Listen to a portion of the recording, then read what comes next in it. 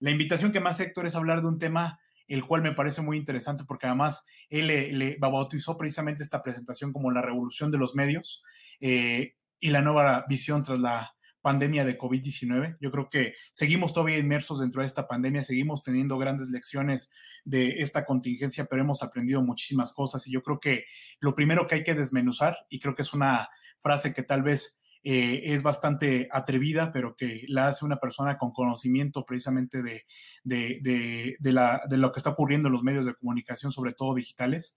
Y es Jeff Harris, que Jeff Harris es director del centro Night en la escuela Craig Newmark de periodismo en la Universidad de la Ciudad de Nueva York. Él ha hecho un seguimiento acerca de los medios de comunicaciones digitales desde hace mucho tiempo y dice una frase que me parece a mí muy atrevida y que la reproduce eh, la Fundación Gabo, que dice que el negocio de los medios ya estaba en llamas. La COVID-19 le arrojó gasolina. Y así es, se ha encendido precisamente este, este negocio en dos vertientes y ha sido una paradoja. La verdad es que los medios de comunicación siempre han tenido un papel importante, pero han estado inmersos en diferentes problemáticas propias de la industria. Y yo creo que lo primero que hay que dejar muy, muy en claro es que las empresas, que las empresas informativas son eso, compañías, organizaciones que al final de cuentas tienen un sustento dentro de un modelo de negocios. A veces en las escuelas de periodismo creíamos que solamente era ese amor por el oficio el que nos iba a salvar y realmente descubrimos que ese amor se puede complementar con un modelo de negocio que sea sostenible en el largo plazo y que además sea adaptable, ya que las crisis de los medios siempre eh, eh, ha sido permanente. Siempre he dicho que estamos eh, en un naufragio infinito, porque desde que iniciaron los medios de comunicación se ha hablado de su caída, se ha hablado de la desaparición de varias plataformas, como ha sido la radio frente a la televisión, como ha sido la televisión frente al Internet, y vemos que siguen prosperando precisamente esos modelos de negocio. Entonces yo creo que lo primero por lo que debemos de partir es la definición que tenemos de la palabra revolución. Y en este sentido me parece que Héctor fue muy provocador, pero además muy preciso en nombrarlo eh, esta presentación con la palabra revolución, porque dice la Real Academia Española que la definición de revolución es la acción o efecto de revolver o revolverse. De ahí viene aquel término de la Revolución Mexicana de los revoltosos, eh, hay un cambio profundo, generalmente violento en las estructuras políticas y socioeconómicas de una comunidad nacional. Lo define también como un levantamiento, sublevación popular, un cambio rápido y profundo en cualquier cosa. Y definitivamente esta pandemia ha provocado un sigma, una revolución dentro de todas las industrias y como modelo de negocio y entendido como una empresa informativa, el periodismo también está sufriendo una revolución. ¿Qué pasa con las empresas informativas y el periodismo? Es una pregunta clave para poder continuar en el desarrollo de los medios de comunicación. Y ese, como les decía anteriormente, eh, los medios de comunicación en este siglo han visto un proceso acelerado de desarrollo. Hemos visto nuevas plataformas, nuevas herramientas para poder contar historias. Antes en las redacciones, en el pasado, no se hablaba de los términos multimedia.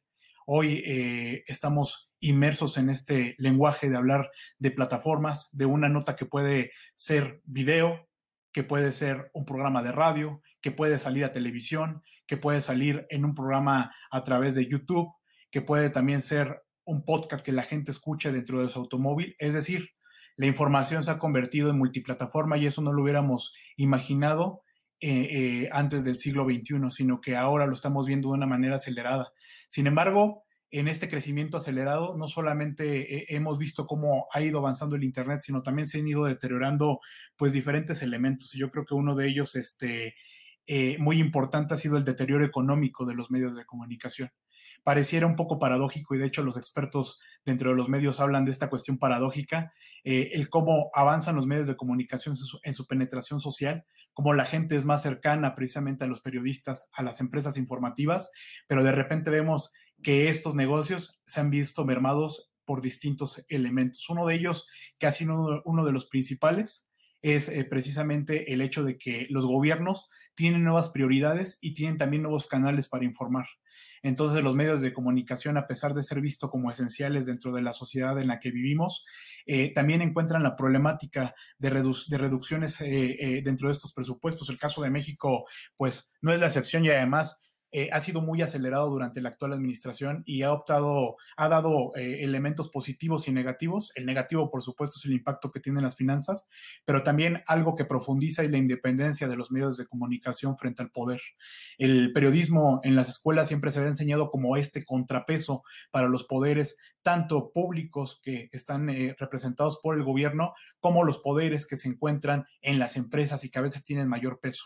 Y en este lado, pues también eh, eh, el otro impacto que ha tenido, hablando de empresas, es precisamente el recorte que se han tenido dentro de los eh, dentro de las pautas publicitarias a los medios de comunicación. Cada vez es mucho más complicado el poder tener estas pautas. y, siempre se ha hablado mucho de poder ser, hacer medible el impacto de la publicidad y el medio digital ofrece esa oportunidad.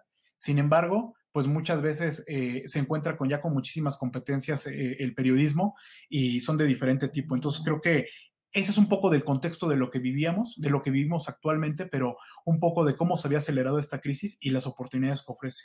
Cuando platicábamos precisamente de cómo eh, el periodismo ha cambiado, hemos visto diferentes lecciones que nos ha dado la pandemia. Si me permiten citar algunas y ahorita entrar ya en comentarios precisos sobre cada una, me permito enumerar algunas o enlistar algunas. Y es que la imagen y el video son los protagonistas entre los materiales informativos. La gente lo que ve, lo que la gente le gusta por el contacto que tiene, por la forma de verificar los hechos, son los materiales informativos a través del video. Uno de los principales enemigos para el periodismo, y lo ha demostrado esta pandemia, son las fake news. Son la amenaza para el periodismo, es una amenaza constante que ya estaba eh, anunciada desde antes de esta crisis el mismo presidente Donald Trump empezó a hablar de las fake news, claro, muy, muy a su estilo y además muy a su conveniencia, pero la realidad es que las fake news son eh, estas noticias falsas una realidad y es una amenaza muy cruel para el periodismo. Eh, otro elemento que nos ha enseñado esta pandemia es que la profesionalización de los periodistas es urgente. Hay un mar de información, un océano informativo en donde los periodistas navegamos y debemos tener las herramientas, tanto eh, informativas como de conocimiento, para poder tomar las mejores decisiones al momento de informar y contraponernos a un nuevo elemento que antes no veíamos dentro de la agenda informativa, que son los influencers, que eh, no precisamente son periodistas, muchos de los influencers pues son destacados tal vez eh, en alguna rama deportiva, en los espectáculos o en diferentes escenarios, pero no son especialistas totalmente en periodismo y muchos de ellos desconocen precisamente ese periodismo al que muchos de nosotros estudiamos en la universidad, eh, con estos contrapesos, con este rigor de las fuentes. Entonces a veces se pierde mucho y es eh, un elemento con el que se tiene que luchar.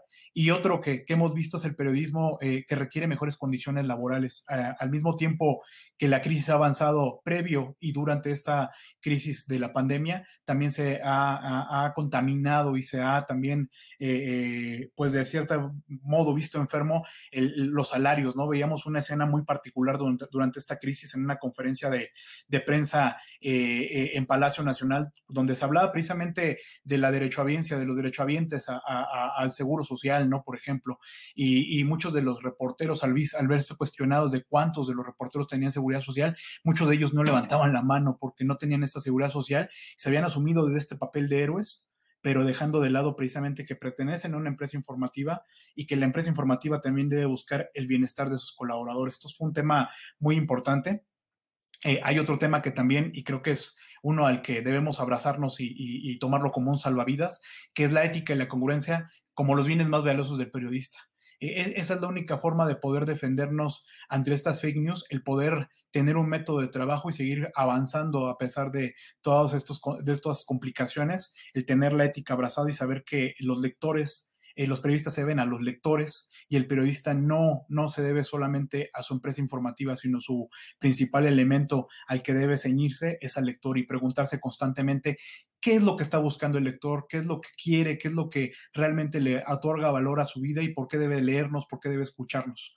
Otro elemento importante es el de establecer una relación directa con los lectores. Ahí está el, principal eh, eh, punto para todos los periodistas, ver a los lectores no solamente eh, como un lector que es espectador, sino como un lector activo que también muchas veces produce contenidos, que ya muchas veces ha llamado prosumidor por haber eh, producido también sus propias piezas y que también compite con el periodismo, pero verlos también como consumidores. Nosotros hacemos piezas informativas, productos informativos que, que, tienen calidad y que también deben ser útiles para nuestros lectores y en este sentido pues debemos también establecer esta relación a través de las redes, a través de elementos tan valiosos como estas presentaciones. Y también eh, una lección es que el presente y el futuro de los medios se encuentran en el mundo digital. Eh, yo hace poco me, incorporé recientemente al equipo de Forbes. Yo había estado anteriormente ya también dentro de este equipo eh, en la parte digital y ahora me toca incorporarme con un gran grupo de profesionales dentro de la edición impresa.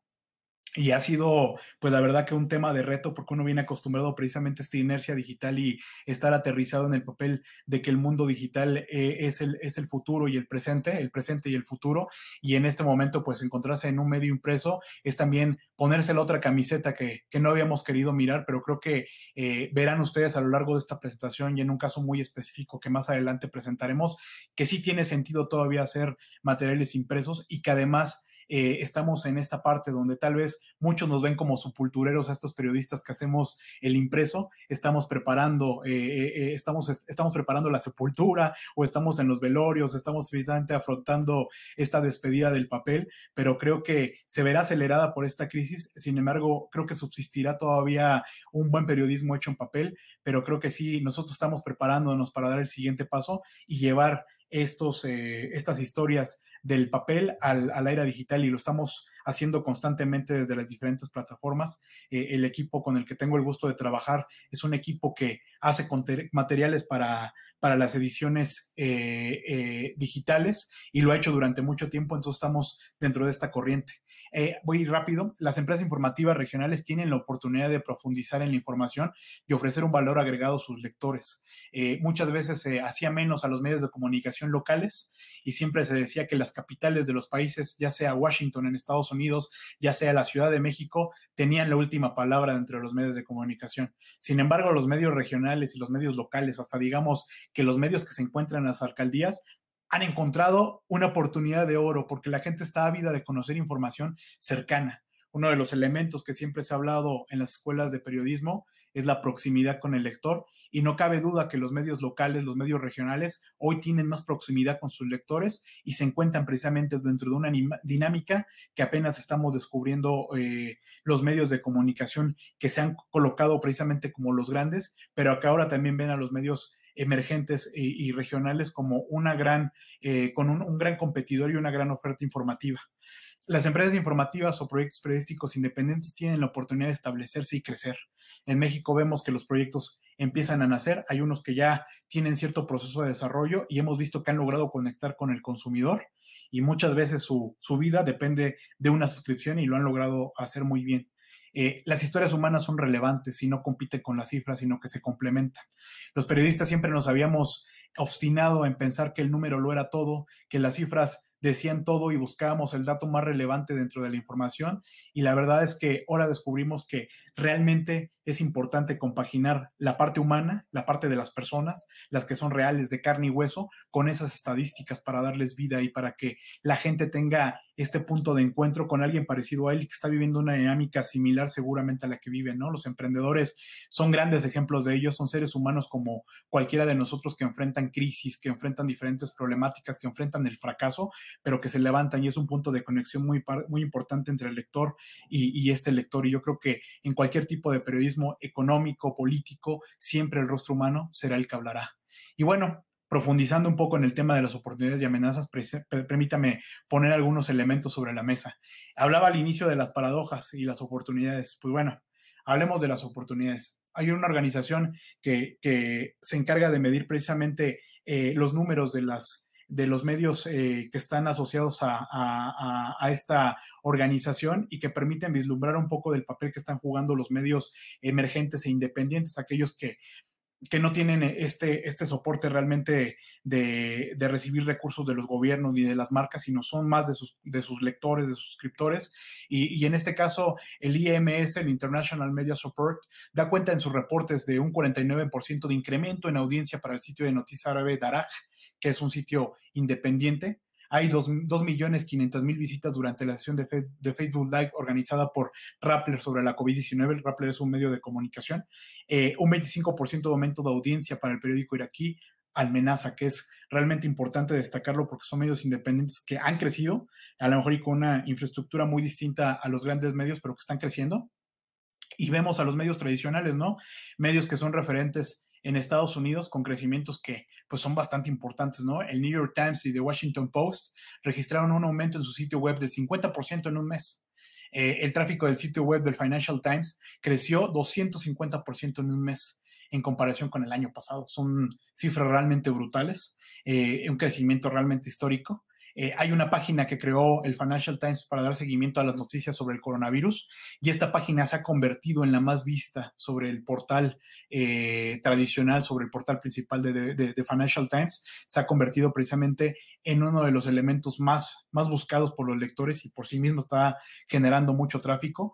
Y el número de visitantes únicos de la página web de The Guardian, que es este periódico eh, de Reino Unido, casi se ha duplicado, un récord de 191 millones en febrero de 2020 a 300 millones en marzo. O sea, la verdad es que este crecimiento que ha tenido mes con mes ha sido maravilloso, esplendoroso, y pues vemos que al final de cuentas el crecimiento pareciera que le sienta bien a los medios de comunicación y estos medios han buscado nuevas oportunidades a través de las plataformas y ya eh, el multimedia va creciendo, va avanzando. Los favoritos. Eh, recientemente eh, Forbes México y, Centroamérica tuvieron este desafío de mostrar una nueva forma de, hacer clic precisamente con sus consumidores, con sus lectores. Y, Forbes se ha caracterizado por hacer foros a nivel internacional y nacional. La verdad es que ha sido una plataforma muy interesante para dar a conocer las voces de empresarios, pero también las voces de activistas, de periodistas y diferentes eh, eh, actores de la sociedad que, que, la verdad han enriquecido muchísimo la plataforma y han permitido a Forbes tener el contacto con el lector más allá de las redes sociales y poder profundizar precisamente el conocimiento. Entonces, eh, realizó un foro virtual, es el primer foro virtual que realiza, antes solamente se transmitía en fragmentos, pero esta vez se hizo pues un, mosaico de diferentes participaciones de elementos del empresariado eh, eh, y diferentes elementos de la sociedad que hablan a través de un canal de YouTube que es el canal de Forbes México y exponen sus puntos de vista sobre esta crisis. Y bueno, vemos que el 60% eh, de, del consumo de video ha crecido en un 60%. Eso es lo que nos revela este foro. Eh, en este foro participó Ana Sart, que es líder de contenido de YouTube México. Me pareció muy importante rescatar estas cifras porque además es un foro que fue muy cercano, sucedió hace un par de semanas. Entonces realmente los datos son totalmente frescos, son totalmente relevantes para la, para la sociedad mexicana, para los periodistas. El 75% ha crecido el número de horas de visitas en la plataforma de YouTube. Es decir, las personas están más tiempo a través de esta plataforma que pues sin, dudar, sin lugar a dudas es una de las plataformas eh, más visitadas a través de, los internautas para ver contenidos eh, de video y ha tenido un 250% el crecimiento de contenido de, de, video en televisión en marzo. Es decir, no solamente las tabletas, no solamente los celulares son ahora el canal, ¿no? Sino de manera natural hemos visto que las personas están en su casa y han decidido apagar la televisión de manera simbólica. Los canales tradicionales han sido apagados y ahora lo que transmiten son precisamente contenidos que salen a través de esta plataforma, pero para verlos en esta pantalla chica, en esta pantalla de televisión. Y hemos visto que uno de los principales ejes que tiene YouTube, que tiene diferentes áreas, cuatro de ellas muy importantes como es entretenimiento, como es eh, eh, vida y estilo y muchísimas cosas que tiene la plataforma, tiene una de ellas que es noticias y noticias se encuentra dentro del primer lugar, dentro de los elementos preferidos por los usuarios de esta plataforma y vemos que ha tenido un 80% de crecimiento la búsqueda de estos contenidos eh, y vistas a través de YouTube. Así que es un dato muy relevante. Sin embargo, como les decía al inicio, una amenaza que ha sido la principal es la desinformación, las fake news. Dicen que es una amenaza fantasma porque realmente estamos muy junto de ella. La verdad es que los medios tradicionales también se ven a veces en este peligro de caer en la desinformación por la abundancia de información y además por el poco tiempo para poder confirmar la información que surge y sobre todo en medio de esta pandemia. Pero bueno, es una peligrosa desinfodemia, ¿no? Que está alimentando precisamente eh, esta pandemia. Y de hecho, ya formalmente, anteriormente se hablaba de las fake news, pero ahora ya a través de, los canales institucionales se habla de que eh, eh, es un enemigo y es un enemigo muy importante, ¿no? El secretario general de las Naciones Unidas Antonio Guterres, hablaba precisamente de, esto y decía, nuestro enemigo es también el creciente aumento de la desinformación. Y por otro lado, la Organización Mundial de la Salud ha identificado esta desinfodemia como una verdadera segunda enfermedad. Es decir, después de, del COVID-19, la segunda enfermedad que está intoxicando, que está enfermando, que está realmente eh, haciendo el peor daño, es la infodemia, ¿no? Esta, esta desinformación, esta desinfodemia que está rodeando al mundo y que los periodistas tienen que combatir diariamente.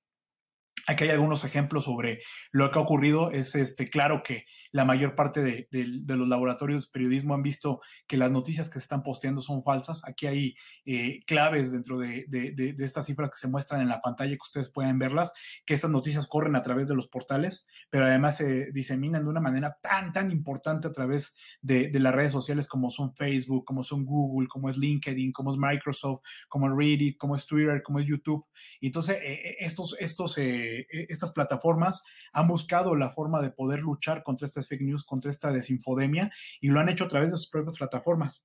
Sin embargo, tanto periodistas como laboratorios, como organizaciones informativas, nos preguntamos hasta dónde está el alcance precisamente de estas iniciativas para poder combatir las fake news y vemos que es muy difícil poder hacerlo, siempre van a seguir avanzando, es un virus que está también ahí avanzando de manera muy callada, muy silenciosa, muy tal vez invisible, pero que sigue avanzando y que no se puede acabar totalmente con ella. La verdad es que eh, además de las fuentes poco confiables, eh, el, hecho de poder compartir esta información presente también en medios nacientes que tal vez no tienen el, rigor o el conocimiento para poder discernir la información, siguen todavía propiciando esta desinformación. Y pues bueno, esta es una de las grandes amenazas que enfrenta el periodismo y que hoy se hace todavía mucho más fuerte. Entonces, de manera presente y futura, este es uno de los retos más grandes. Y pues bueno, entre tanta información que pudiera parecer eh, paradójica, que pudiera parecer también un poco de desaliento. Siempre me gusta traer a la mesa diferentes casos que alimentan precisamente esta esperanza en un mejor futuro, en un mejor presente. Y la verdad es que esta información a mí me, llamó mucho la atención cuando la vi la primera vez, que fue precisamente en 2017. Eh, yo eh, eh, estaba dando seguimiento precisamente a esta entrega de, los premios Pulitzer en Estados Unidos, que son pues el premio máximo dentro del periodismo estadounidense y me parecía muy importante el poder seguirlo como un ejemplo para, para los medios de comunicación nacionales y creo que no nos equivocamos en todavía seguir volteando a ver estos premios porque al final de cuentas nos otorgan un poco de, oxígeno para poder imaginar el futuro, el presente y para poder tener también ciertas herramientas para nuestros lectores nacionales y me di cuenta de esta historia, la verdad es que es muy curiosa. Eh, eh Art Cullen es el propietario de, de Storm Like Times, que tira 3.000 ejemplares, es decir, produce 3.000 ejemplares y, es una empresa familiar, trabaja con su mujer y su hijo, y en 2017 obtuvieron precisamente este premio Pulitzer por un seguimiento a un caso periodístico importante.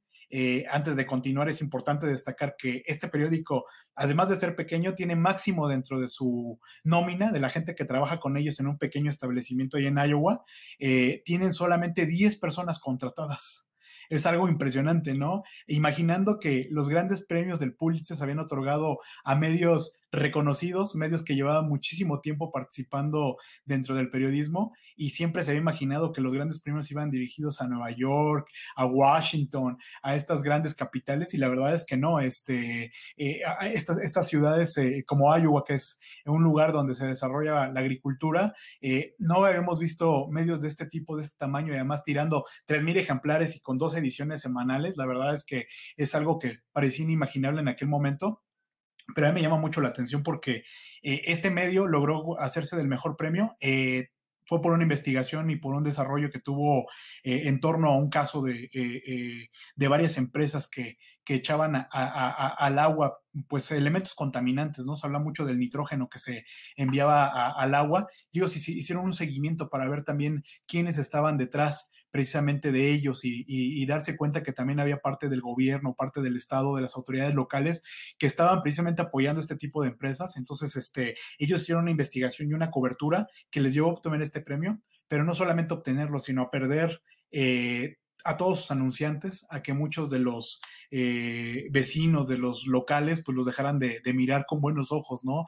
Destaparon un, gran conflicto, pero mostró que eh, la publicidad podían, eh, podía ser un elemento del que se podían llegar a través de los suscriptores, ¿no? Yo creo que este medio de comunicación nos da un ejemplo, que México lo ha tenido muy presente, pero con estos nuevos medios que están surgiendo y que están este, logrando generar suscriptores, que, los grandes, que los grandes medios no solamente están eh, en las ciudades importantes, ¿no? En las ciudades que muchas veces miramos, sino están surgiendo en pequeñas localidades y que hacen mucha referencia precisamente a que los medios del futuro son los medios que van a estar dentro de las localidades, ¿no? Eh, el Washington Post ha desarrollado una red de, de, corresponsales, eh, son eh, freelance que están conectados a través de una plataforma y en donde los editores desde el Washington Post pueden darles voz a través de sus piezas periodísticas, a través de esta plataforma, dándole seguimiento y diciendo, oye, este tiene un caso importante, hay que eh, darle seguimiento a esta historia. Entonces yo creo que los temas locales es un gran futuro para los medios de comunicación.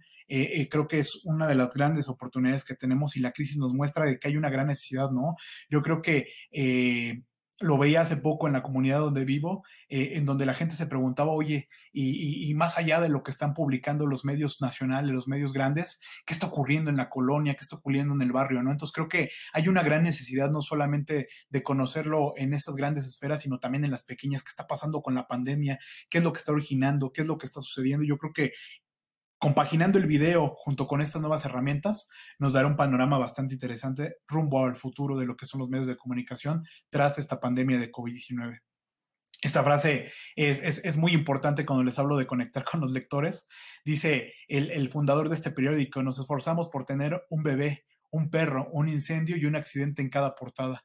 Así que sí, nosotros satisfacemos los deberes de nuestros lectores. Así es como este medio ha logrado satisfacer a los lectores enfocándose en las noticias nacionales y dando este brinco al seguimiento de notas importantes que nacen en la localidad, como es el seguimiento de estas empresas agrícolas que contaminaban el agua dentro de la comunidad de Iowa. Así que yo creo que es un caso importante que nos da muchísimas esperanzas, pero pues hay que mantener también la, mente fría y tener la mirada puesta eh, eh, en la realidad. Y yo creo que uno de los elementos que que se enmarcan dentro de esta realidad que tristemente vive México, es este llamado que hacemos todos los periodistas en la oportunidad que tenemos en poder imaginar los medios de comunicación a través de estas grandes tendencias que nos muestra eh, esta crisis, que nos muestra que los medios de comunicación enfrentan una problemática mundial en cuanto a los ingresos, no solamente es privativo de los medios mexicanos, de los medios nacionales, sino que todos los medios están viviéndolo. Eh, viven también este gran auge dentro de las, del Internet para poder generar lectores, audiencias, pero el gran problema que vive México y que no nos gustaría vivir a ningún profesional, yo creo que en ninguna de sus áreas y mucho menos en el periodismo que involucra mucha pasión y mucho amor por, por el oficio, es precisamente la inseguridad. Entonces yo creo que siempre es importante hacer un llamado a que este, este testimonio tan cruel que hemos tenido en México, donde México se ha colocado como el segundo país eh, en mortalidad de periodistas, pues no siga dándose, que no sigan enseñando periodistas para que esto no, no, no sea un lastre para el país y que sigamos todavía generando nuevas tendencias y buen periodismo. Yo creo que es uno de los mensajes más importantes. Y hay, algo que, me gusta mucho y hace tiempo encontré un 8 de junio una columna publicada por la periodista, eh, periodista Leila Guerriero en, una, en una opinión del país que me pareció muy importante, me gustó mucho. Eh, yo no sabía eh, que mi familia, por ejemplo, eh, tenía un antecedente donde parte de ella se dedicó durante mucho tiempo a la panadería en, algún poblado alejado de la Ciudad de México, este, eh, tuvo alguna vez este negocio y me parecía a mí algo muy interesante. Leila Guerriero decía que el periodista, en este caso lo hablaba mucho acerca de los escritores, pero yo creo que también se puede aterrizar en el periodista y en cualquier profesión en esta crisis, se tiene que levantar constantemente hacer lo que hace, eh, eh, hacerlo sin miedo, hacerlo con mucha fuerza. Y yo creo que el panadero, a pesar de que tenga un rompimiento amoroso, a pesar de que tenga una crisis a pesar de que la panadería enfrente mil problemas, eh, el panadero se levanta todos los días a amasar con fuerza esta masa para poder hacer el pan. Entonces creo que es una lección para poder levantarnos de la crisis, para poder seguir haciendo este trabajo. y, y, dice, hay que, es un fragmento, dice, hay que amasar el pan sin humildad, con empeño con odio, con desprecio, con ferocidad, con saña, como si todo estuviera al fin por acabarse, como si todo estuviera al fin por empezar. Hay que amasar el pan para vivir, porque se vive, para seguir viviendo. Escribir, amasar el pan, no hay diferencia.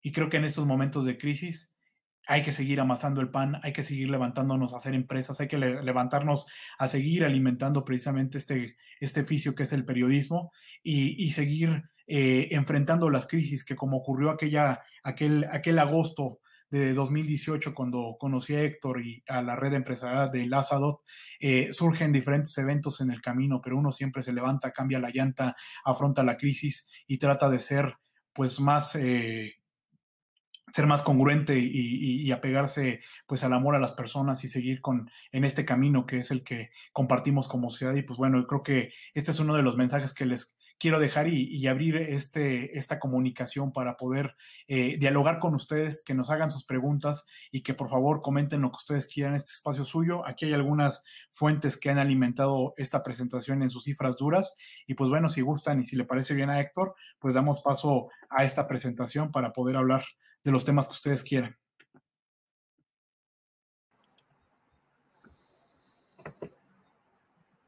Sí, este, muchísimas gracias. Eh, bueno, pues aquí ahorita tenemos varias personas. Eh, no sé si de entre las personas que están conectadas tengan alguna pregunta para nuestro amigo Roberto.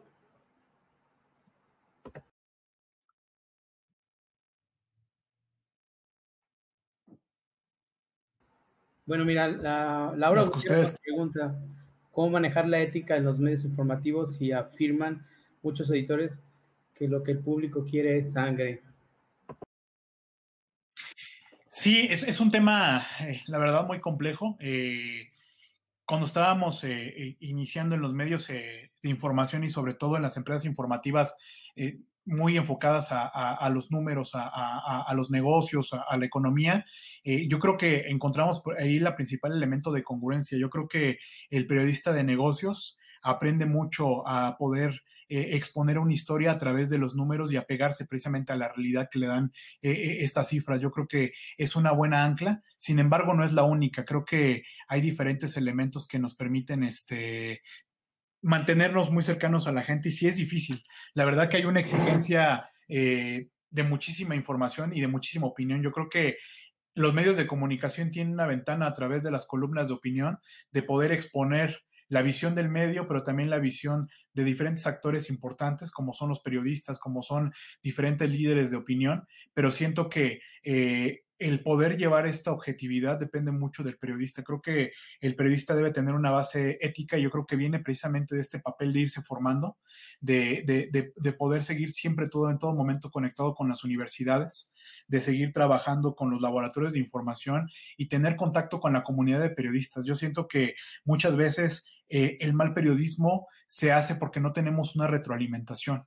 Eh, mi, uno de mis grandes editores que he tenido, y he tenido varios que, que, son muy grandes y que les agradezco mucho las oportunidades que nos han dado. Uno de ellos es Genaro Mejía. Eh, él habla mucho precisamente de un periodismo muy consciente, ¿no? A pesar de que las circunstancias a veces obligan a ser duros con la información y que pareciera que la sociedad pide esta sangre, hay que ser muy aterrizados con los pies firmes, tanto para dar la información de manera eh, lo más objetiva posible, que es algo que se le critica mucho al periodista, porque dice que a veces toma partido. Eh, el periodista es un ser humano que también se enamora de las historias, pero debe encontrar esta forma de desprenderse. Yo creo que una forma de desprenderse es precisamente tener un editor, ¿no? Mi, mi, editor me decía, yo soy esa persona que está contigo para poder decirte por qué está mal hecho tu trabajo, por qué está bien hecho, eh, qué elementos le faltan. Entonces, este, creo que la crisis que vivimos eh, eh, en los medios de comunicación ha traído consigo que también el reportero se convierta en su propio editor y muchas veces no tenga la oportunidad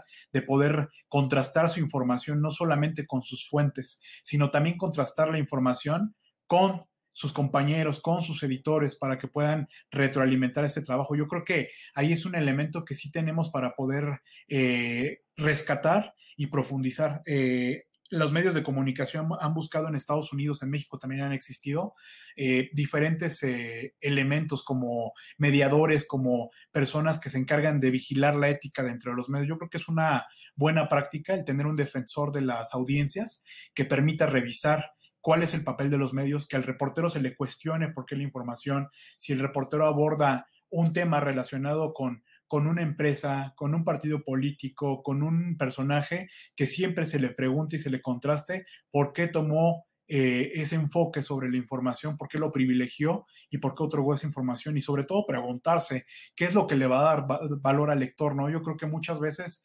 pareciera que eh, los intereses ajenos se, imponen. Yo creo que la forma más congruente de poder lidiar con todos los intereses que rodean eh, a la información es precisamente el poder cuestionarse qué, busca el lector y cuál es la utilidad del lector de esta información y, que los compañeros también logren rescatar esta práctica de, de, revisar la información. Yo creo que sí es un terreno muy difícil y creo que sí podemos dividirlo tanto de la parte de opinión que es una parte que también debe verificarse y seguirse, pero que tiene esta ventana para poder hablar de una opinión propia y que el medio también logre decirle al lector, sabes que esta, esta parte de opinión habla sobre, uno, sobre una posición o sobre una postura de un agente dentro de la sociedad, pero por otro lado también tenemos la información de contraste que tal vez la que yo te presento como una información noticiosa no tenga que realmente concordar con la visión del columnista, ¿no? Entonces, este, creo que es, es, es privilegiar esta variedad de voces y no solamente quedarnos con una, ¿no? Que a veces ocurre con las redes sociales, yo creo que ahí es un elemento importante.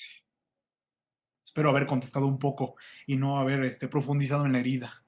Sí, eh, mira, Rafael Losornio nos pregunta, ¿qué porcentaje ocupa actualmente la información en Forbes en sus ediciones impresas y cuánto en lo digital? Pues yo creo que, hay, un, equilibrio en la, información de cada uno. Por supuesto que la versión digital tiene eh, una vida eh, propia, es decir, este, un ritmo más acelerado. siempre la información que se presenta eh, en el portal tiene precisamente este elemento para poder dispararse de manera inmediata. Entonces, el, seguir esta agenda sí genera mayores contenidos. Yo creo que, por ejemplo, una diferencia muy grande de, Forbes en la parte digital es que precisamente tiene un seguimiento mucho más directo de la realidad, porque así lo exigen los lectores, porque así lo han demostrado. Y el equipo que dirige mi compañero Alejandro Ángeles hace una labor muy importante en darle seguimiento a la agenda que ocurre en el país, pero también a la internacional y poder compaginar esta información. Yo creo que si algo se privilegia es precisamente la parte digital, pero por la conexión que tiene con los lectores y porque hay una demanda directa sobre la información en las plataformas digitales. Y por otro lado, creo que algo que en Foros a mí me ha gustado mucho en lo personal, yo he trabajado en otros medios de comunicación que son grandes medios y que además han sido grandes escuelas para los periodistas que hemos pasado por ahí, es que la plataforma impresa tiene una gran conexión con la plataforma digital. Creo que la información que, por ejemplo, se publica dentro de la plataforma impresa eh, llega siempre a los lectores con un diferente tratamiento tal vez, pero siempre buscamos que este contenido no sea, eh, discrimine al lector este, en la forma de recibirla, es decir, la información que está en la plataforma impresa, siempre buscamos la forma de que tenga esta salida hacia la edición digital. Nuestros compañeros, nuestros editores, tenemos grandes editores de, de proyectos especiales como Viridiana Mendoza, como Alejandro Medina, que hacen una labor excepcional porque ellos eh, cuentan una historia tal vez más reducida, con ciertas características visuales para el lector de la versión impresa, pero siempre ellos se quedan con este apetito por darle más elementos en la edición digital al lector. Entonces lo que hacen ellos es decir, ¿sabes qué? El contenido de la edición impresa tiene este final aquí porque se tiene que imprimir y tiene que ir a una imprenta y hacer este desarrollo de contenido, pero para la edición digital me propongo sacar un contenido mucho más extenso, donde tal vez tengo mayores elementos visuales para poder dárselos al lector. Entonces ellos se encargan de hacer una nueva versión, una versión basada precisamente en la que está en la edición impresa para transportarla al lector. Entonces yo creo que eh, la información siempre es más robusta en la parte digital en cuanto a volumen, pero en la parte eh, de la edición impresa creo que es un, es una plataforma muy interesante y además que a nosotros nos permite una salida muy grande, ¿no? La verdad es que Forbes es una plataforma que produce muchísimo contenido, tiene un gran contacto con las grandes audiencias, con los grandes empresarios, con los grandes activistas de este país y hay muchísima información que se reduce tal vez por el espacio que tenemos en, la imprenta, pero que hemos encontrado la forma de darle salida a través de la versión digital. Entonces, tenemos un contacto muy directo con todos los editores de la versión digital y este contacto nos permite poder comunicarles que tenemos contenidos valiosos, que hay que darles una prioridad, que hay que publicarlos en la edición digital cuando no tienen este espacio dentro de la versión impresa por cuestiones de espacio y además por muchas cuestiones este, que también son estructurales de la edición, pero creo que ha sido una buena compaginación. Yo no había visto en los últimos años una, una, una, comunicación y una integración tan grande como la que tiene Force México en ninguna de sus plataformas. Y creo que en las versiones internacionales de otros medios, que además ustedes han visto que en México han llegado grandes, grandes medios de comunicación que en algunos casos lamentablemente han sucumbido, no han tenido esta conexión tan directa con las ediciones que se generan en otros países, pero en el caso de, de México con la versión tanto mexicana, centroamericana y ahora colombiana, tienen una compaginación enorme que permite tener una plataforma muy grande de información, tanto impresa como digital. Así que es, es, es, este, un contenido muy importante para todas las plataformas el poder compartirlo, ¿no? Ah, creo que la siguiente pregunta también va pegada con la primera que ya contestaste, pero la quiero leer. Irene Pinto, buenas tardes. En resumen, el futuro del medio tradicional va de la mano de su presencia virtual. Gracias.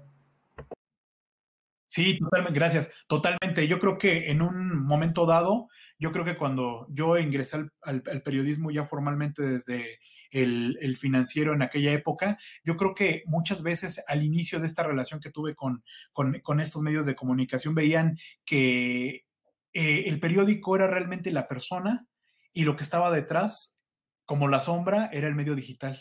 Yo creo que eh, eh, en, esa parte siempre había un dilema, había este dilema de Peter Pan persiguiendo a la sombra, ¿no? Eh, buscando siempre cómo poder ceñir a esta, a esta sombra dentro de los pies de, de, este niño que volaba, ¿no? Dentro de este Peter Pan. Y yo creo que ahora los medios han tenido una evolución y lo que ahora hacen es precisamente comprender que los medios digitales no son una sombra, ¿no? Sino son precisamente eh, también una imagen mirada de frente, mirada a la luz, ¿no? No, no es que vaya de la, que vaya detrás de la edición impresa, sino creo que ahora han comprendido que pueden subsistir una a la otra y que además son complementarias. Yo creo que esa es la parte del futuro de los medios, ¿no? Si piden, piden una pregunta en resumen, yo creo que eh, en el presente y futuro, que yo creo que estamos ya evolucionando precisamente hacia ese futuro de una manera mucho más organizada y mucho más este, aterrizada, es que yo voy a tener una versión digital con la que viva siempre, con la cual yo me levante y desayune información, con la cual yo coma información, con la cual yo me alimente de esa información para poder vivir, para poder eh, circular, para poder moverme eh, en mi comunidad, en mi ciudad, pero siento que esa versión impresa va a ser el momento que tal vez un fin de semana, que tome una tarde de, en los días, pueda tomar yo entre mis manos esa versión impresa y pueda encontrar ese complemento a la versión digital, que tal vez es la experiencia del lector, de poder encontrar que mira a través de esa, de esa revista, ¿no? Y yo creo que a través de esta conexión entre la revista y la plataforma digital, están naciendo nuevos medios que ya compaginan una y otra y que podrían decirse que es una versión impresa tal vez que pueda imprimirse on demand, es decir, que a lo mejor un día podamos ingresar a, ver una revista como Horse y decir, ¿sabes qué? A mí me encanta la versión digital porque puedo traerla a mi tablet, pero esta me parece que es una versión de lujo que quiero tenerla en mi librero y que yo la puedo imprimir a través de la plataforma de Amazon o cualquier otra plataforma que tal vez todavía no nace, pero que yo pueda imprimirla y que pueda recibirla en mi casa, que pueda tener el gusto de olerla, de poder, eh, decía mi, mi, editor Genaro Mejía, de tomarte un whisky y estar leyendo la información y disfrutarla o poder compartirla a mi abuelita u otra persona a través de la edición impresa. Yo creo que están subsistiendo y creo que van compaginando una a la otra y en algún momento veremos ya el, el, desarrollo de un producto que, que podrá verse en, en, ambas, en ambas plataformas y nacido para un lector digital y que puede vivir con un lector impreso, ¿no? El lector impreso que llevaremos dentro todos. Eh, mira, la, siguiente pregunta, la siguiente, eh, pues eh, bueno, no es pregunta, es más bien como un comentario. Creo que muchos mexicanos estamos como en ese tema. Dice Catherine Vega, Vergara dice, siento que los medios hoy buscan seguir puras tendencias, entonces se van por el amarillismo y esto ocasiona que la gente ya no confía en los medios. Por eso este mes estamos hasta el cuello de teorías conspirativas. Sí, yo, yo, creo que ese es un gran reto, por eso les hablaba mucho de que el gran salvavidas del periodista es la ética y la congruencia. Eh, yo la verdad creo que, que muchas veces eh, el periodismo digital en esta etapa de desarrollo no ha tenido un freno, es decir, avanza de una manera vertiginosa y muchos medios hemos tratado de imponer un freno, el poder decir, ¿sabes qué? Hay que frenar un poco en esta bajada porque eh, estamos en una parte muy alta del periodismo digital donde tiene una alta demanda, donde estamos, eh, hemos subido demasiado dentro de esta este, cresta y en este momento estamos bajando, ¿no? Entonces, este, nos estamos yendo con todo sobre ese, ese, esa plataforma y creo que muchas veces no tenemos el tiempo para dialogar con nosotros mismos, lo que les decía también del papel del editor. Entonces creo que abrazarnos y ceñirnos a la ética y a la congruencia, creo que es la única forma que nos pueda representar. Aquí hay muchos teóricos y muchos periodistas que hablan del periodista como una marca, ¿no? Es decir, que cada periodista pueda seguir eh, su trayectoria y que ustedes como lectores puedan conocer al periodista y sepan que tiene una congruencia, ¿no? Yo creo que es uno de los principales valores que sí puede tener el periodista para poder defender su trabajo y creo que entre más periodistas tengamos consciente de esta situación y de saber que tenemos un auto, que es un auto que corre muy rápido, pero que no debemos correrlo tan rápido porque puede sufrir un accidente, yo creo que empezaremos a meter el freno y dejaremos de seguir las tendencias, ¿no? Yo eh, fui director de un medio digital de, una revista que fue alto nivel. Yo fui director durante un, tiempo de, la versión digital que, además fue una gran experiencia porque además me enseñó que eh, el lector tiene eh, un apetito por enterarse de todo y, lo que trata de hacer el, periodista es eh, como si estuviera en un restaurante, darle todo lo que tiene la competencia para que se sacie, ¿no? Para que tenga esta saciedad, se alimente completamente el lector y se sienta satisfecho al final de su comida. Sin embargo, siento que los grandes restaurantes siempre tienen un elemento que sorprende y que es su gran receta, su gran platillo y es el que nunca deben de perder. Yo creo que los medios de comunicación tienen en las historias eh, y su forma de contarlas un gran valor agregado para los lectores. Y yo siento que a veces nos perdemos. Yo me acuerdo que me metía a, las analíticas, a, las, a, los eh, monitores de información y yo trataba de tomar lo mayor de información y trataba de, adaptarlo a lo que yo tenía dentro de la plataforma para que la gente se sintiera satisfecha. Pero de repente uno se da cuenta que pierde identidad y, esa identidad es la que tiene que mantener el, vigente el medio, ¿no? En este caso son dos variables. Yo creo que es el medio de comunicación que tiene una línea editorial marcada y que debe de respetarla y que además debe mostrarse congruente frente a sus lectores. Y creo que por el otro lado está la congruencia y la ética del periodista, que yo creo que es la más importante. Yo creo que cuando tienes un editor y tienes un periodista eh, que siempre te está recordando estos valores y además te dice que trabajas para el lector, te das cuenta que tal vez ese lector no requiere todos esos alimentos. Creo que a lo mejor y podríamos tener un buen buffet muy bien balanceado. A lo mejor y si el local de al lado sirve una comida deliciosa pero con mucha grasa, podemos darle algo que no sea grasoso y que no sea eh, un elemento demasiado abrupto, sino darle información realmente balanceada que cumpla precisamente con el, con, el alimento, con este antojo que tiene de los diferentes productos que hay con el mercado, pero no perder de vista el platillo principal. Yo creo que los periodistas también somos grandes cocineros de la realidad donde tomamos estos elementos para presentarlos al lector y yo creo que hay que tomar un balance y creo que eso es lo importante, ¿no? El poder eh, tener estos valores más cercanos hoy más que nunca. Eh, Valentín García, eh, Valentín García hace el comentario, hay que seguir amasando el pan con veracidad, objetividad, tenacidad, adelante. Este, sí, yo creo que sí. Sí, Jorge. Sí, yo, yo creo que sí hay que hay que seguir haciéndolo con mucha veracidad, eh, más apegado a la realidad.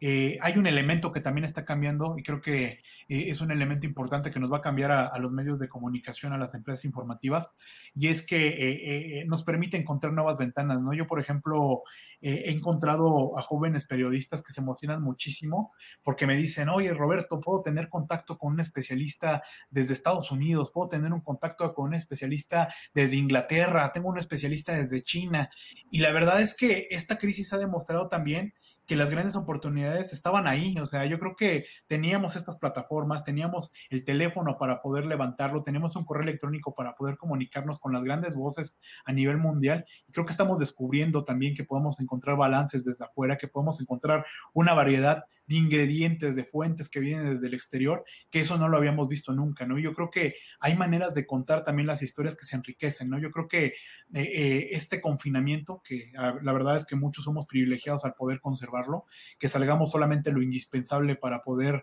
seguir haciendo nuestro trabajo, creo que nos permite también abrir nuevas... Eh, ventanas, el poder abrir nuevas puertas para poder comunicarnos con los lectores y también con nuestras fuentes, ¿no? Y poder encontrar nuevas formas de contar historias desde las herramientas digitales, ¿no? Y sin perder de vista que en algún momento regresaremos a la realidad, pero tal vez mejor armados. Yo creo que estamos viviendo el sueño del Quijote, donde vemos estos molinos de viento, pero en algún momento regresaremos precisamente a la realidad, donde encontraremos a los gigantes de verdad, pero con herramientas de muchísima mayor dimensión por lo, la imaginación que nos ha abierto este panorama y este encierro de la pandemia. Yo creo que hemos encontrado libertad en el encierro. Eh, te voy a dar dos últimas preguntas, así de volada. Este, Con gusto. Eh, digo, no tenemos prisa, pero Eh, mira, bueno, una pregunta dice, ¿cómo tiene que ser el periodista de hoy? No el comunicador, sino el reportero, el investigador. Y, otra pregunta que nos hacen por aquí es más bien con el tema monetario. ¿Cómo crees que los medios puedan subsistir monetariamente con tanta información gratuita? Ah, hace más difícil conseguir suscriptores y con tantas opciones de publicidad, las empresas dejan de comprar publicidad. Este, pues son prácticamente eh, dos preguntas que aquí están. Perfecto. Pues yo, yo, creo que en esta primera parte, en la primera pregunta sobre el reportero, yo creo que el reportero debe de optar nuevamente por capacitarse. Yo digo que el papel del editor, por ejemplo, en este caso del editor, ahorita hablaré un poco del reportero, pero siento yo de alguna forma que el editor es como un boxeador que pelea también detrás cuando hace sombra, cuando dicen que estos boxeadores no están en el ring, pero están peleando desde atrás. Yo creo que el hecho de que un reportero tenga la oportunidad en este momento, tal vez eh, eh, algunos, de poder estar en el encierro, les permite también prepararse y soltar estos golpes en la sombra para poder salir a la realidad. Yo creo que la forma de prepararse adecuadamente y que tener este reportero ya de las nuevas este, plataformas es precisamente que se levante pensando y cuestionándose qué elementos no les da la tecnología, qué elementos les da, qué elementos no, pero también pensando qué es lo que está buscando el lector. Yo creo que la pregunta más importante que debe de hacerse el periodista es si realmente está cuestionando todo lo que está a su alrededor y si realmente lo que se cuestiona es valioso para el lector. Yo creo que esa es la forma de mantener la conexión y yo creo que un segundo paso es preguntarse después de, hacer este análisis cómo es la forma en que lo quiere presentar, ¿no? Yo creo que hay historias que se pueden prestar para contarse a través de, una nota informativa tradicional que se escriba y que se publique en un portal, en una revista. Eh, hay también estos reportajes que permiten incluir más fuentes y que también tienen esta salida, pero tal vez un reportaje encuentre una mayor dimensión a través de un relato en, en, radio, ¿no? Puede ser que lo encuentre, puede ser que lo encuentre tal vez en una pieza en video, que a lo mejor, y, y, en este caso de YouTube, muchas veces los reporteros llegan y los editores y piensan solamente en la plataforma tradicional de la televisión, ¿no? Yo creo que es momento de hacer una fractura con la televisión y decirle, ¿sabes qué? Como personalidad de medio, yo creo que tengo eh, la libertad de elegir cuál es la forma en que quiero contar las historias, ¿no? Tenemos un editor multimedia en Forbes que nos está dando muchísimas lecciones sobre lo que es el periodismo multimedia, lo conoce Héctor, que es eh, eh, nuestro compañero Arturo Luna, que viene además de una tradición de periodistas visuales muy importante en México, y creo que él, ha descubierto que no solamente las series de, no solamente los negocios te cuentan a través de reportajes, sino a través de series de televisión, ah, pero no de televisión tradicional, ¿no? Sino a través de la pantalla, ¿no? A través de YouTube. Y no solamente se ciñen a estar en Netflix, sino que viven en otras plataformas, ¿no? Entonces él ha creado productos como son una serie de los emprendedores, que es emprendedor versus empresario, en donde ha demostrado que el Internet tiene su propio espacio, que no tiene que estar limitado por los tiempos, sino es el tiempo que el lector quiere y hay que tenerlo muy, muy visible al usuario. El usuario determina los tiempos y uno tiene la oportunidad de atreverse a, ofrecerle una opción de tiempo, una opción de contenido, pero dejar de pensar que nosotros somos reproductores de la televisión en Internet. No somos reproductores de la televisión en Internet. Hay formatos que se adaptarán muy bien, y hay formatos que tal vez no, pero yo creo que estamos ante un panorama que nos ofrece la libertad de poder pensar, de poder hacerlo distinto. Yo creo que los medios de comunicación que nazcan tendrán la oportunidad de pensar fuera de la caja, fuera precisamente de estos elementos que, que nos, a nosotros vivimos, que son estructuras mentales que uno quiere ver en el programa de televisión tradicional y que a veces nos emocionamos cuando vemos algo en Netflix y que ya no queremos ver la televisión tradicional, por supuesto, porque Netflix encontró la forma de llevar a la gente a contarle una historia que tal vez está en la literatura, tal vez está en los libros, está en las noticias, ¿no? Pero encontró una forma de contarla distinta. Yo creo que los medios de comunicación al rato no solamente tendremos como género el reportaje, ¿no? Sino como un género dentro de las plataformas, un documental, ¿no? Yo cuando entre, no solamente voy a buscar la sección de economía, de negocios, sino voy a ver el reportaje sobre las empresas que se han enriquecido eh, en tal etapa, ¿no? Yo, yo creo que vamos a ver ese tipo de historias, o la serie de televisión sobre el empresario, una, una, serie de video sobre el empresario, ¿no? Y hay otra forma también de convivir que yo creo que el reportero también debe acostumbrarse a estar cercano al lector a través del podcast, ¿no? Yo creo que los lectores eh, y los nuevos reporteros lo comprenden bien la historia que se queda fuera de las materias informativas que a lo mejor y no son las tradicionales, que no son la nota informativa, que no es el reportaje, que no es el documental, también puede estar en el, en el, en el audio, ¿no? Yo creo que puede encontrar un canal y además un canal mucho más desenfadado, que la gente pueda escuchar cuando viaja a través de las, eh, de las selvas citadinas, donde viaja entre, los, entre el ruido del claxon, entre el ruido de los motores, que puedan relajarse y meterse un poco en la perspectiva de, del lector y del reportero. Yo creo que ahí es una parte muy importante que vamos a explorar a través del podcast, que apenas creo que por ahí va una nueva forma de comunicarnos y que seguramente lo vamos a tener ahí, ¿no? Yo creo que ese es un tema. Y por el otro lado, eh, la pregunta que hacían acerca del financiamiento de los medios de comunicación.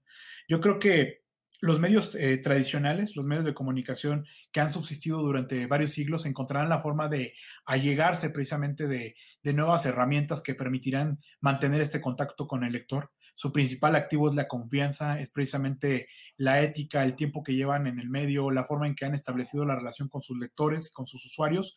Yo creo que ellos van a encontrar la forma de, crear nuevas plataformas y es más, yo creo que también se van a convertir en grandes eh, eh, compradores de las nuevas plataformas que surjan, ¿no? Yo la verdad es que a veces creo que eh, las, empresas informativas eh, en algún momento también est estarán presentes dentro de nuevos dispositivos que, yo creo que serán nuevos teléfonos inteligentes, que serán nuevos audífonos, que, que serán nuevos equipos que están dentro de este hardware que podrán acoplarse a un software que dé la información, ¿no? Yo creo que ahí encontraremos una vertiente bastante interesante donde los medios yo creo que en algún momento no solamente comercializarán lo tradicional que son sus revistas, sino tal vez hasta dispositivos. Yo creo que la industria editorial ha encontrado herramientas valiosas, ha encontrado formas de, de llegar con lectores, pero yo creo que eh, hay nuevas plataformas que no nos hemos imaginado dónde existirán, ¿no? Un amigo diseñador gráfico me decía, piensa en los libros, pero no piensa en los libros como la forma en la que ves y no pienses en el audiolibro. Piensa en algo que no existe, que a ti te gustaría tener. Yo creo que el medio de, los medios de comunicación estamos cuestionando y estamos tratando de convertirnos en esos soñadores o en esos creadores del deseo para pensar qué es lo que el lector va a necesitar. Y yo creo que es algo muy importante y vendrá de ahí una parte del financiamiento, pero yo creo que el financiamiento que, que sería el más importante será el que viene de los lectores.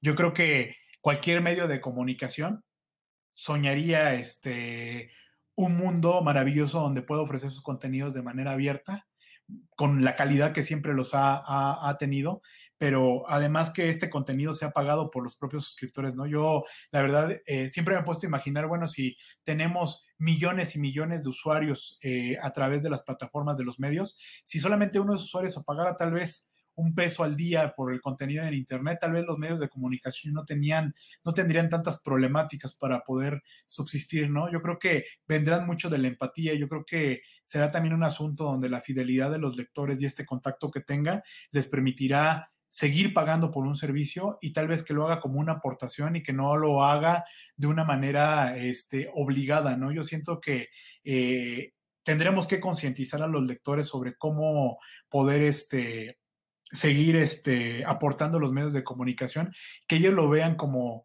un servicio que están pagando, pero que no lo hacen de una forma obligada, porque el contenido está abierto, vaya, sino que los medios de comunicación tal vez puedan ofrecer un contenido adicional para la persona que lo pague, ¿no? Y que a lo mejor y tenga una relación con otros servicios, ¿no? Yo me quiero imaginar tal vez algún club donde eh, tal vez te pueda otorgar ciertos beneficios, pero además que lo haga de una manera eh, comprendiendo al lector, porque pues, al final de cuentas la búsqueda de información y, la inteligencia artificial podrán hacer que el lector tenga un portal a su gusto, que cuando abra tal vez la nueva página del nuevo medio de comunicación pueda encontrar a través de un teléfono celular un, iPhone, de un eh, teléfono Android, pueda encontrar en su barra de información la información que está buscando, pero la que él imaginó durante la noche, con la que platicó con su novia, con su novio, con su esposa, con su esposo, y que esa información la pueda encontrar en la, en la palma de su mano. Y yo creo que, si me permiten solamente para finalizar en esta respuesta, sin extenderme más, creo que también el futuro y el presente se encuentra dentro de los eventos, ¿no? Yo creo que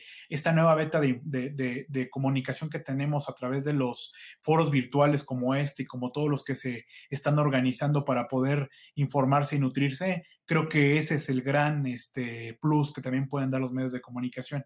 Y cuando pase esta pandemia, creo que no olvidar la libertad que se encuentra en esta, en esta vida en Internet, ¿no? Que se ha convertido en este Second Life, como este videojuego donde la gente convivía en una realidad virtual. Creo que convivimos ahora con estas dos realidades, ¿no? Hay dos realidades, la virtual y hay una realidad que se va a vivir de manera física. Yo creo que pueden convivir y creo que no deberíamos de nuevo cerrarnos a decirle a la gente que no se, no se meta a escuchar una conferencia a través de, Internet, sino poder sumar a más personas y decirle a la persona más alejada del mundo que puede estar cerca de nuestro país, que puede conocer y que además tal vez hasta el propio medio se pueda convertir en, un, en una plataforma para vender nuevas cosas, ¿no? Yo creo que nos hemos eh, cerrado mucho en, en, un comercio tradicional que yo creo que sin problemas, ¿no? Alguien que asiste a un evento donde se habla de emprendimiento, donde se habla de nuevas ideas, de ideas disruptivas, yo creo que alguien no estaría molesto tal vez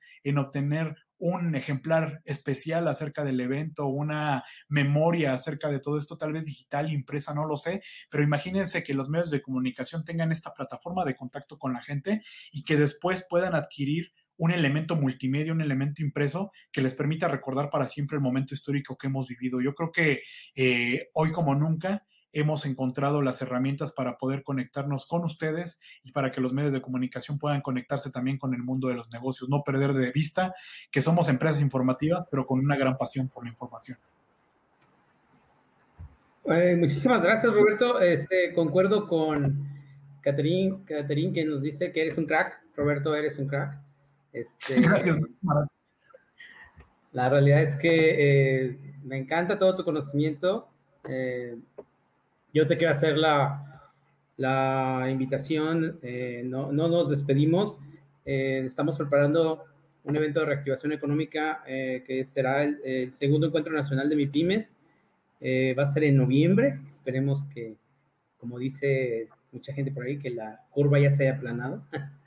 Pero Estamos con todo el ánimo de desarrollar este encuentro de reactivación económica para las micro, pequeñas empresas y emprendedores, donde ustedes también forman un juego muy importante en la comunicación, porque yo pienso seriamente que el emprendimiento en México va a ser uno de los factores que saquen adelante económicamente al país.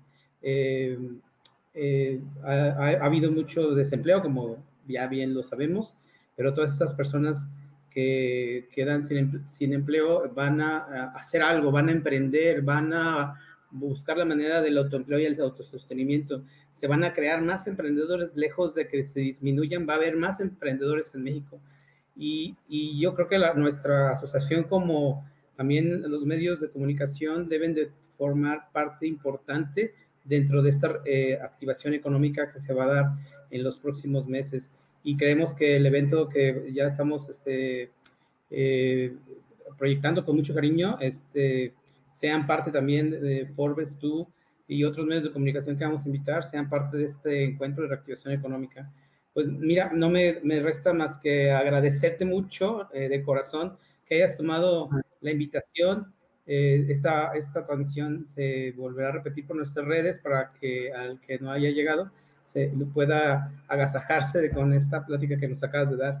Eh, creo que ya nomás por ahí de repente se hicieron preguntar otras cosas. Eh, sí, eh, esta charla estará disponible por otra plataforma, sí, va a estar en plataforma en Twitter y en Facebook, YouTube. un comentario, todo es posible, pero hay que hacer mucho trabajo, el doble, el triple que se hacía anteriormente. Yo creo que igual es, ya trabajamos más ahora que estamos encerrados. Digo, no sé cómo tú te hayas eh, sentido ahorita encerrado, este, pero yo pienso que trabajamos más. ¿Tú cómo ves? Sí, yo creo que ahora lo que debemos encontrar es una forma también de poder desconectarnos de la, de la realidad que además pues ha invadido nuestros hogares, ¿no? Yo creo que es algo muy interesante. Y ahorita que eh, reflexionabas precisamente acerca del papel de los emprendedores, yo también creo que eh, el, periodismo tendrá mucho que contar acerca de las soluciones que han encontrado estos emprendedores y la forma de poder hacerlas sostenibles, ¿no? Yo creo que el sueño que tenemos todos es que tengamos una sociedad mejor y que, una, que sea una economía equitativa yo creo que se puede lograr, ¿no? Y hay grandes emprendimientos sociales que lo demuestran, que, que, además nos dicen que no están peleados precisamente la teoría con la práctica y que tampoco está peleado el hecho de tener ideales que, que, beneficien a las personas con un sistema económico que yo creo que puede darle sostenibilidad a, buenos proyectos, ya sean proyectos dentro del periodismo, pero también proyectos que puedan eh, eh, alimentar a las personas. Yo creo que eh, han, ha dado muestra el país durante muchas ocasiones que esta reactivación económica se puede dar de distintas formas. ¿no? Yo he conocido grandes proyectos sociales, artísticos, que se mueven con una pasión impresionante, pero que no olvidan precisamente que tienen que estar ligados a un proyecto económico que les permita crecer, ¿no? Entonces yo creo que eso es lo que nos, nos va a, mantener dentro de esta carrera, a, seguir creciendo y además creo que va a haber un terreno bastante eh, grande de acción para poder participar con la sociedad y ayudar a muchísimas personas, ¿no? Yo creo que eh, nos permite tomar conciencia, ¿no? No solamente de que estamos trabajando más, sino también de que debe ser, eh, debe haber un balance y una remuneración para todas las personas que les permita ser felices, ¿no?